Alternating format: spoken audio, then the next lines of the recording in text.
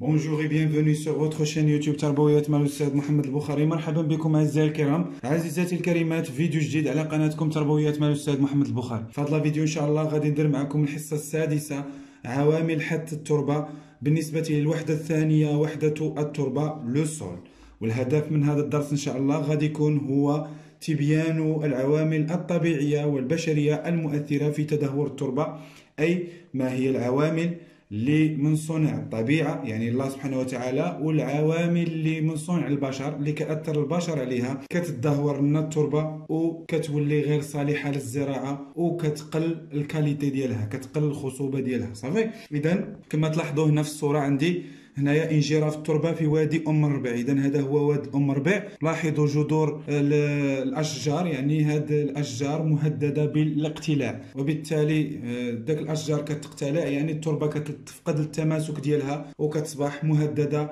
بالتدهور. إذا ألاحظ خلال نزهة بجوار واد لاحظت فاطمة بروز جذور بعض الأشجار إلى السطح في بعض المناطق بجانب الوادي إذا في واحد النزهة كانت بجوار الوادي فاطمة لاحظت هاد الجذور ديال الأشجار. اذا لاحظت بأنه الجذور كيبانوا فبينت لها أمها أن السبب في ذلك هو تدهور التربة.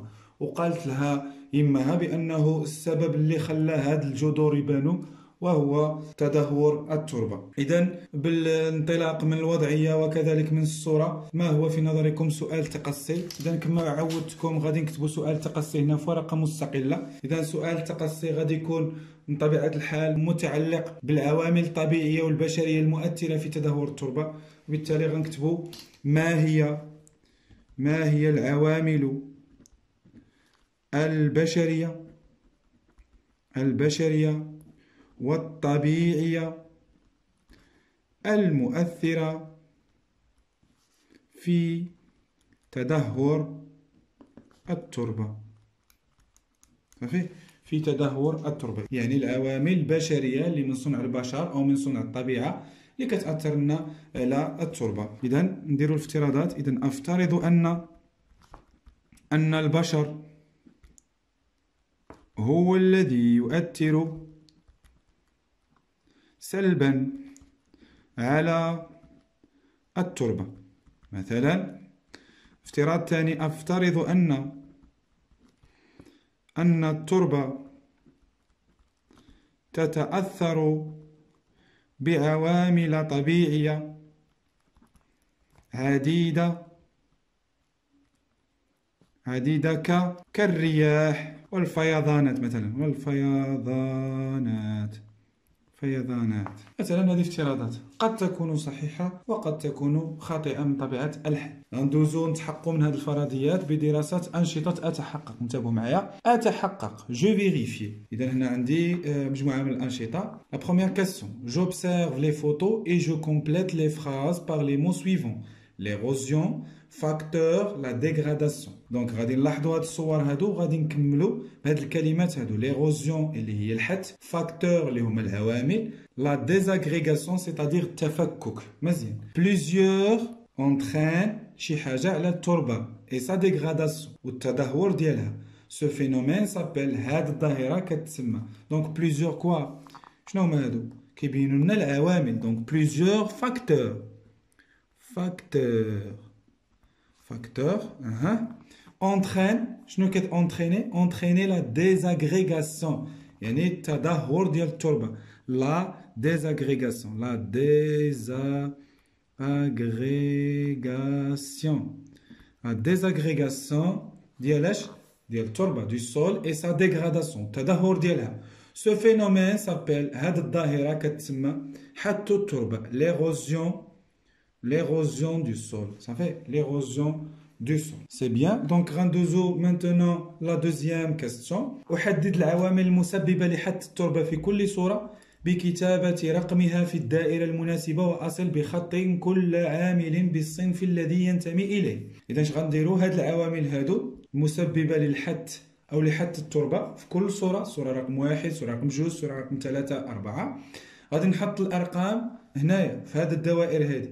وغادي نربطها وغادي نحدد واش هما عوامل طبيعية يعني من صنع الطبيعة والله سبحانه وتعالى أو هي عوامل بشرية من صنع البشر. نبدأو. إذا هنايا أثر المياه الجارية على التربة. زوبعة رملية بمنطقة صحراوية. إتلاف الغابة استغلال مفرط للغطاء النباتي. كما كتلاحظوا بطبيعة الحال هنايا الرياح الرياح عندنا في زوبعة رملية بمنطقة صحراوية. إذا رقم اثنان.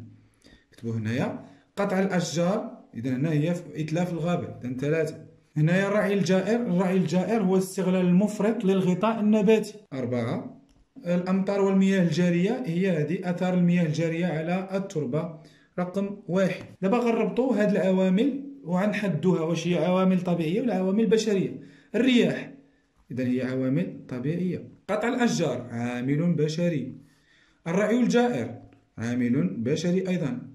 المياه والأمطار الجارية عوامل طبيعية. ندوز ثالثا أبين تأثير عوامل الحث على التربة بنقل حرف العبارة المناسبة إلى خانة كل صورة إذا آه، تأثير العوامل ديال الحث لأن ألف تعرية التربة ونقل حبيباتها. شكون اللي كيعري التربة وكينقل الحبيبات ديالها؟ واش اولا؟ واش الصورة الأولى ولا الصورة الثانية ولا الصورة الثالثة ولا الرابعة؟ طبيعة الحال اللي كيعري التربة وكينقل الحبيبات ديالها هما الرياح. وبالتالي ألف هنا. صافي؟ باء نقص تماسك التربة وانخفاض جودتها. نقص تماسك التربة وانخفاض جودتها. شكون اللي كيخلي التربة متماسكة والجودة ديالها كتكون مزيانة؟ هما الأشجار. وبالتالي التماسك ديال التربة كيمشي مع إتلاف الغابة. وبالتالي هنا باء صافي؟ جيم القضاء على الغطاء النباتي وتدهور التربة. شكون اللي كيقضي لنا على الغطاء النباتي؟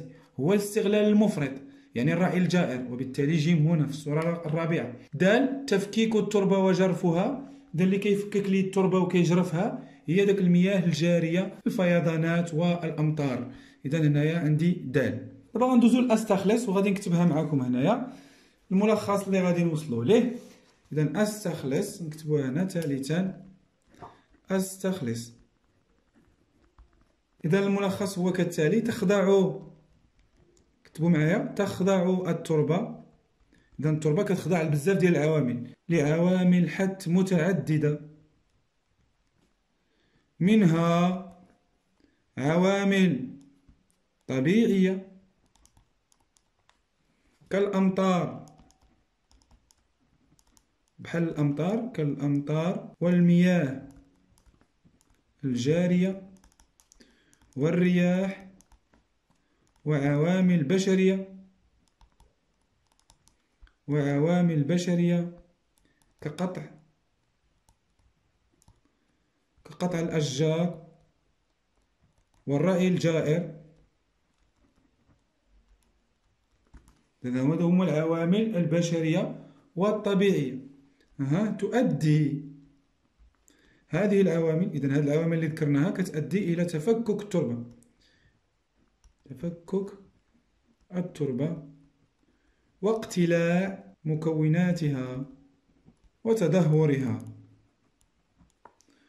وكذلك كتنقص الجودة ديالها ونقص جودتها. صافي. مزيان. اذا هذا هو الملخص. غندوزو الآن باش نديرو التطبيق اطبق انتبهوا معايا. اطبق إذا هنا عندي ثلاثة ديال الأنشطة. جوج بالفرنسية وواحد بالعربية. donc j'observe l'image ci-contre. Je détermine le facteur responsable de l'érosion de sol en entourant la proposition correcte. مزيان donc غنتبهوا الصورة هنايا وغادي نحددوا داك العامل المسؤول عن حت التربه هنايا وغادي ندوروا هنايا على العوامل هنا le vent الرياح les incendies اللي هي الحرائق les eaux courantes اللي هي المياه الجاريه le déboisement اللي هي قطع الاشجار مزيان اذا اللي كنلاحظوا هنا في هذه الصورة هذه الصورة كتظهر لي بحال هذه الصورة الفوقانية هنا بحال هذه تقريبا. وبالتالي ال facteur راه باين وهو هو les eaux courantes صافي les eaux courantes ها. اللي هي المياه الجارية. المياه الجارية هي اللي كتخلي هاد كيوقع التعرية للتربة وكتفكك التربة وكتجرف. صافي je déduis l'action de ce facteur sur le sol يعني التاثير ديال هذا العامل على التربة. اذا التاثير ديال هذا العامل على التربة غنكتبو هنايا. donc ce facteur ce facteur entraîne, entraîne, entraîne quoi? Entraîne la désagrégation, la désagrégation, désagrégation du sol. La désagrégation du sol, c'est-à-dire euh, sa dégradation, sa dégradation, sa dégradation et, une baisse de, sa qualité. Yani, telle qualité de turba, sa qualité d'accord. هنا ثانيا أكتب صحيح أو خطأ. نكتب إما صحيح أو خطأ. الرياح ليس لها أي تأثير على التربة. خطأ. التربة كتأثر بالرياح.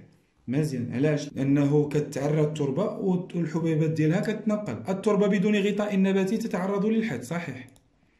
لأنه الغطاء النباتي ضروري باش كتكون التربة متماسكة. question 3 je détermine les causes de la désertification en mettant une croix dans les cases convenables donc غنتساراو هنايا على الأسباب اللي كيأديو على التصحر صافي؟ avancée des sables يعني زحف الرمال. نعم كيؤدي إلى la désertification les pluies اللي هما الامطار لا.